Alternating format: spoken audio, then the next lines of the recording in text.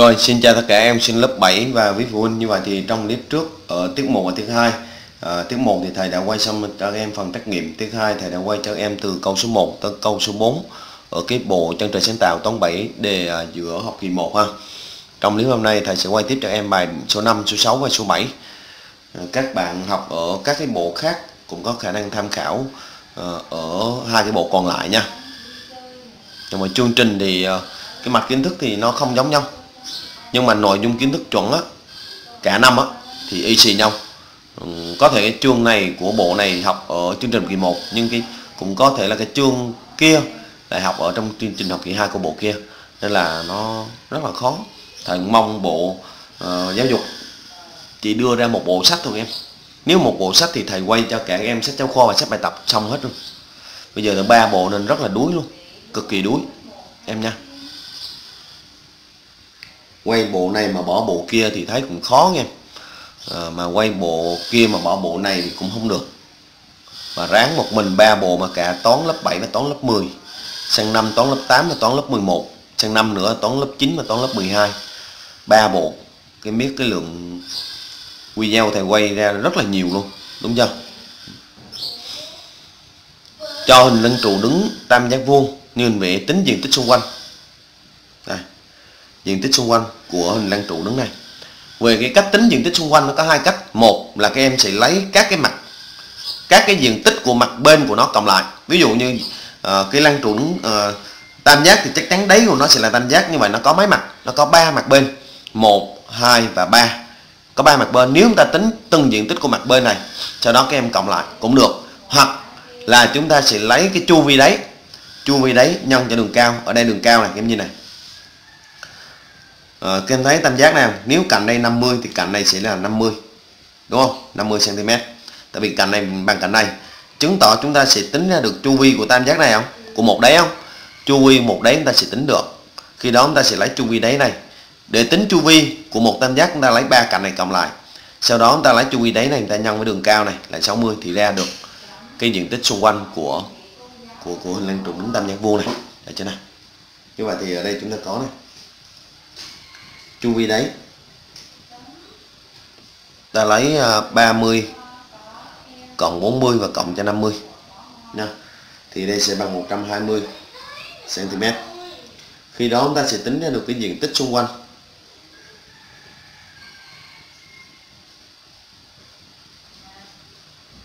Của lăng trụ đứng. Tam giác vuông. Là các em lấy là chu vi đáy nhân cho đường cao. Đường cao chúng ta đây là 60 này. Được nè sẽ bằng là 7.200 cm vuông. Dạ Vậy đó diện tích là mét vuông và thể tích thì mét khối. Chu vi là là là không có vuông khối cả. Nó vẫn là cm hoặc là mét được chưa? Xong. Ở bài số 5 ta sẽ đi sang bài số 6 và các em nhớ rằng là cái đề này mang tính chất tham khảo thôi nha. Chứ đừng có comment hỏi thầy là cái cái đề này nó có rơi vào trường của mình hay không. Là thầy không có biết đâu. Tại vì trường của mình thì giáo viên dạy thì giáo viên ra đề. Ai dám mà cho các em biết cái đề trước, công an bắt thầy bỏ tù mất. Em hiểu chưa nào? Nên các em đừng bao giờ comment là hỏi cái đề này có phải là đề của trường của mình hay không nha. Ta đi sang bài số 6 em ta đi sang ở câu số 6 đây chính là một câu vận dụng. Em thấy chiếc xe này xe rùa đúng không? Chỗ thay gọi là xe rùa xe ờ, chở uh, cát chở đất đồ các cái người thợ hồ hay sử dụng cái xe này uh, để mà vận chuyển hồ em.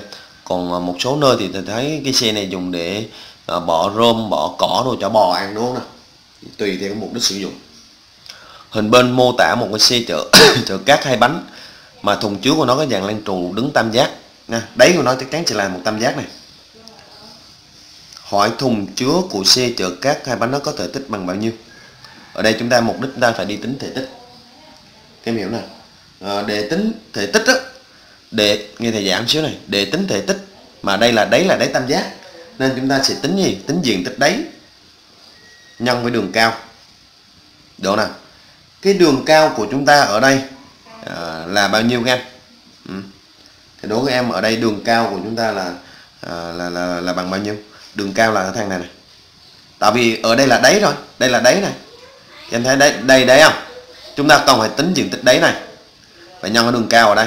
Như vậy đường diện tích đáy ở đây chúng ta cần tính nhân đường cao đây là 60 như vậy đường cao đây là h này. H bằng 60 này. Được chưa nào? À, trong khi đó ở đây em nhìn này cái thùng của nó là cái thằng này 80 thằng này 80 thì chứng tỏ đây cũng sẽ là 80 ở đây 80 thì thằng này 80 thằng nào? Thằng này này. Đấy đây 80 này. Đúng không? Đúng chưa? Như vậy thì nếu như một trong tam giác thầy bị riêng ra này có phải thằng này là 80 không? Cái đường cao ở đây cái đường cao của nó này đây cái đoạn này đó chính là đường cao đây này. Đường cao đây chính là 50 trong cái tam giác ấy, thì diện tích của nó bằng 1 phần 2 đây ví dụ như thế này. Nhìn này thầy nói một xíu này, ví dụ như A, B, C ở đây là H đường cao H đi. Như vậy thì nó sẽ bằng BC nhân cho AH đúng theo công thức luôn. Như vậy thì nó sẽ ra được là diện tích đấy chúng ta sẽ lấy cái cạnh tương ứng và nhân đường cao nó là 50 này, và nhân cho 1 phần 2 thì ra diện tích đấy sau có sau có diện tích đấy xong, chúng ta sẽ nhân với cái đường cao của lăng trụ này, thì ra được thể tích của nó. Hiểu chưa? Như vậy bây giờ chúng ta ghi là cái diện tích đấy của C là như vậy, S đáy này sẽ bằng là gì? 1 phần 2 này. Nhân cho cạnh tương ứng của nó này là 80 và nhân ở đây cho chiều cao của nó này, của cái đáy á, là 50 hiểu chưa? Hiểu chưa nào? Như vậy 80 chia cho 2 là bằng 40 40 chia nhân cho 50 là bằng 2000 đúng không? Ở đây là cm vuông. Bây giờ chúng ta có diện tích đấy rồi. Chúng ta tính thể tích. Của C là như vậy thể tích sẽ bằng diện tích đấy và nhân cho đây đường cao. Ta ghi đúng công thức luôn. Giáo viên không có trừ điểm đâu các em sợ. Như vậy bằng 2000 đường cao chúng ta đây này. Đường cao chúng ta này là 60 được chưa nào? À, như vậy 6 nhân cho 2 là bằng 12 à, 4 trừ số 0 1 2 3 4 ở đây là cm khối. Đó. vậy thôi rất là đơn giản dễ hiểu như thế. Nhưng mà chúng ta phải vận dụng một cách linh hoạt những cái cái yếu tố những cái cái điều kiện mà có ở trên cái hình này. Chúng ta biết xác định được đâu à đâu là cái đường cao của hình lăng trụ và đâu là đường cao của tam giác. Cái đáy này. Hả? Chứ không mà chúng ta không biết ngờ vận dụng thì thì, thì coi như chúng ta sẽ sai ngay. Rồi chúng ta sẽ đi sang bài số 7 em rồi chúng ta sẽ đi sang ở bài cũng cùi là cuối cùng là bài số 7 ha gồm cả hai câu kia vận dụng cao này cái này là chính là vận dụng cao. Đây là vận dụng thôi vận dụng cao ha.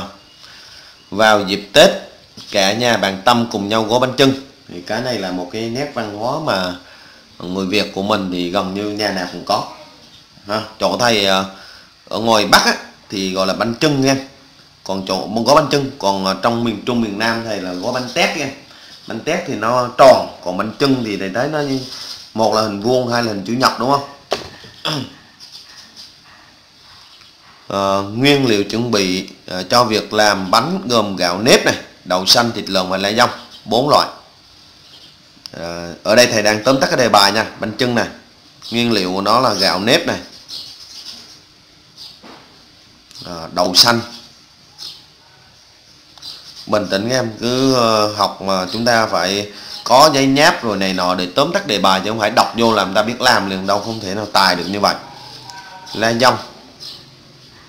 Mọi cái bánh trưng sau khi gói nó nặng ở đây bánh bánh trưng nặng tổng ở đây là 0,8 kg này.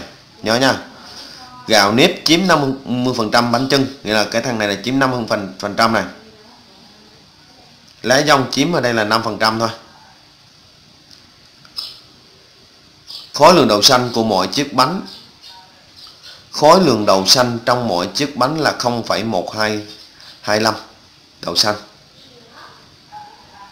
còn lại là thịt lợn. Thịt lợn là chưa biết. Nhưng mà tổng khối lượng một cái bánh trưng là là biết rồi này tính khối lượng thịt lợn trong mỗi chiếc bánh trưng. Như vậy nghe thầy nói này để tính khối lượng thịt lợn thì chúng ta phải biết được khối lượng của gạo nếp cái này 50% trong uh, tổng là 0,8 kg thì chứng tỏ cái này chúng ta tính ra được là lấy 50% ta, ta nhân cho 0,8 thì ra được khối lượng của nó này. Đậu xanh có rồi lá dong thì em cũng sẽ lấy là 5% nhân cho 0,8 bằng ở đây đúng không? Để tính thịt lợn thì chúng ta sẽ lấy tổng khối lượng ở này. Tổng khối lượng ở đây chúng ta trừ cho khối lượng của gạo nếp trừ cho khối lượng đậu xanh trừ cho khối lượng lá dong thì ra được khối lượng của thịt lợn như vậy thì bây giờ từ cái tóm tắt của đề bài của thầy ở đây các bạn bây giờ chúng ta phải tính ra khối lượng gạo nếp cái đã? Rồi chúng ta tính khối lượng của lá dong cái đã. Sau đó chúng ta sẽ lấy tổng khối lượng của bánh trưng ở đây. Ta trừ cho gạo nếp, trừ cho đậu xanh và trừ cho lá dong thì ra được khối lượng thịt lợn. Chúng ta hiểu không? Hiểu nè. Như vậy bây giờ câu A này. Đầu tiên chúng ta sẽ tính khối lượng. Giải này ở phần, ở phía trên đây là tóm tắt đề bài em nhá nhìn trên đây đã có số liệu rồi, chúng ta sẽ làm được khối lượng gạo nếp trong một chiếc thôi nha, một chiếc bánh trưng.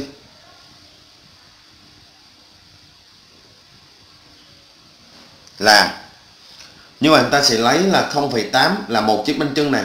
Còn ăn gạo nếp này tổng nó bằng 50% so với khối lượng ở đây. Hiểu không? Nghĩa là nó sẽ bằng là bao nhiêu em 50 phần trăm.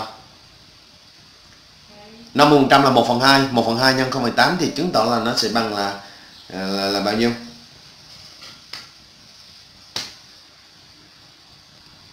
Rồi bây giờ chúng ta bấm này. 0,8 nhân cho 50 phần trăm. 50 đây cái phần trăm là cái ký hiệu này các em bấm ship an là 50 phần trăm.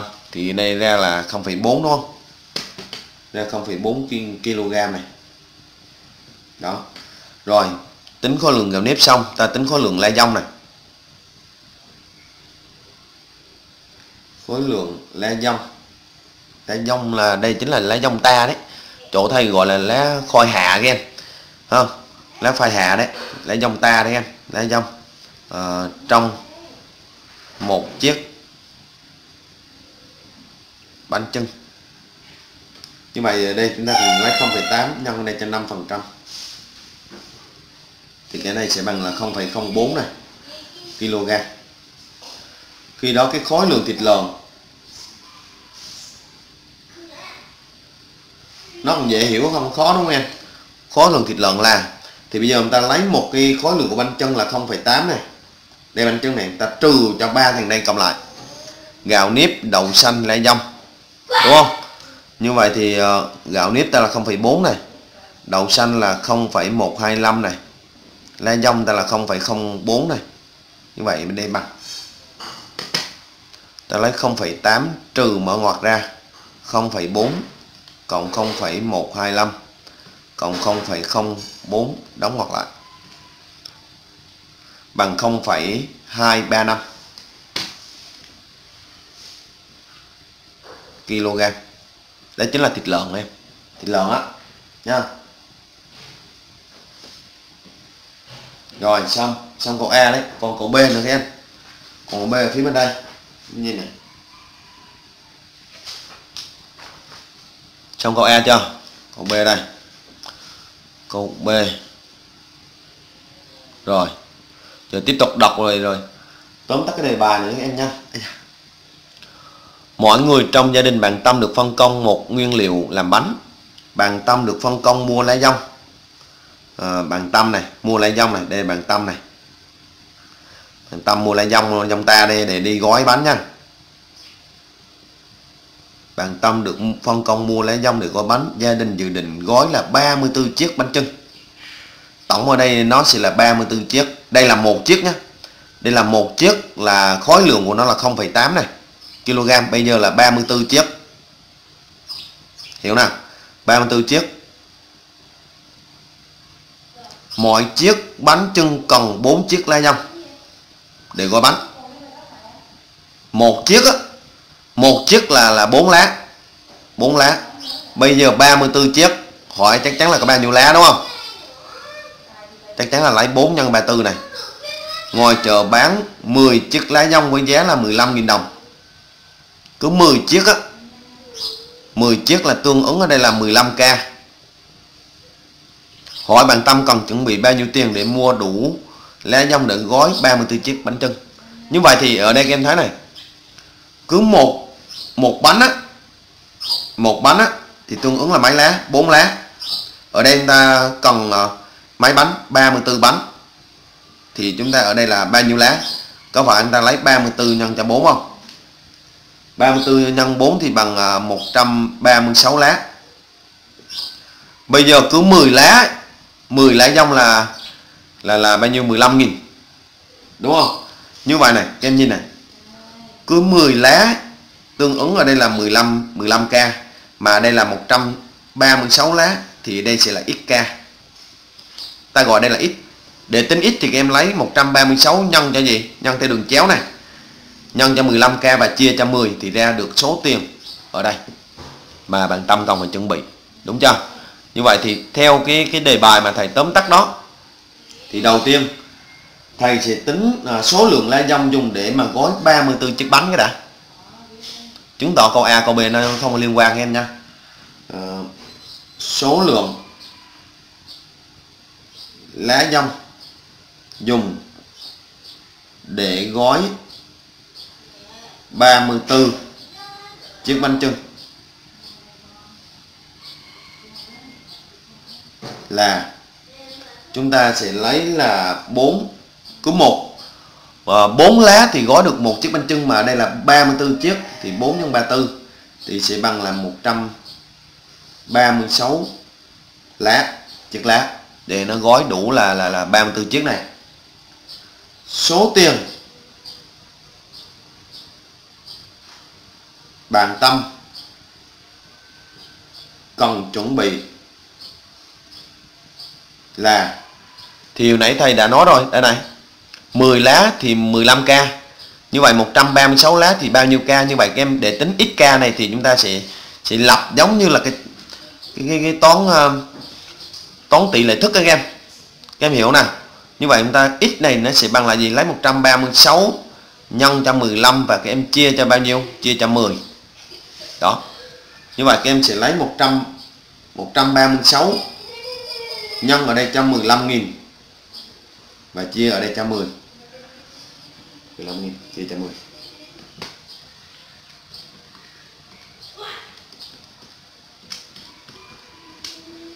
204.000 đồng nha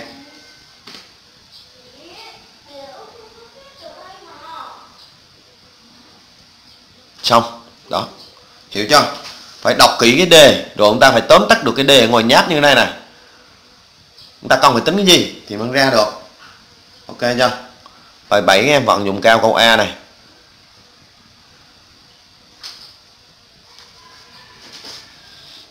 Các em mà làm đúng được uh, tất cả các cái câu này là các em giỏi em.